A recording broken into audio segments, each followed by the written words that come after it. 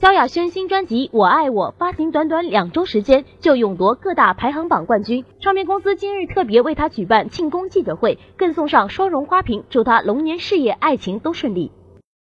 这次与新专辑一起发行的微电影《一百分的吻》斥资千万，涉及一夜情、姐弟恋等争议话题。Elva 对此表示，里面许多情节都是自己亲身经历，其中的旁白也是自己的感想。看了这个一百分吻的吻的微电影，就会知道，因为我里面有非常多的旁白。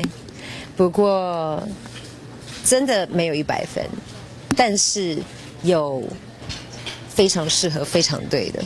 对我相信，嗯，对，对，都都都有经历过，所以它是呃我自己还蛮有趣的一种。荧幕上的不一样的演出火花，这样子。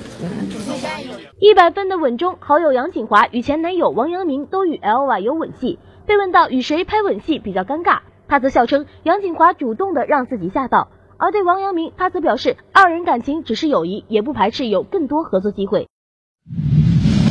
坦白说，跟好姐妹比较尴尬，真的，因为你知道，就是他在里面很主动。锦华在里面主动，所以我有一点就是被他吓到。可是因为导演希望我就是要真实的去反映我的性格，所以没有太刻意去要说哦，你这时候应该要像怎么样。我们最后有一幕其实是一起呃大喊在天空中喊一些女生常会喊的话，这样子心里面的 OS。然后我们两个是真的就是在喝啤酒，就是彼此之间就是因为也是最后一个镜头。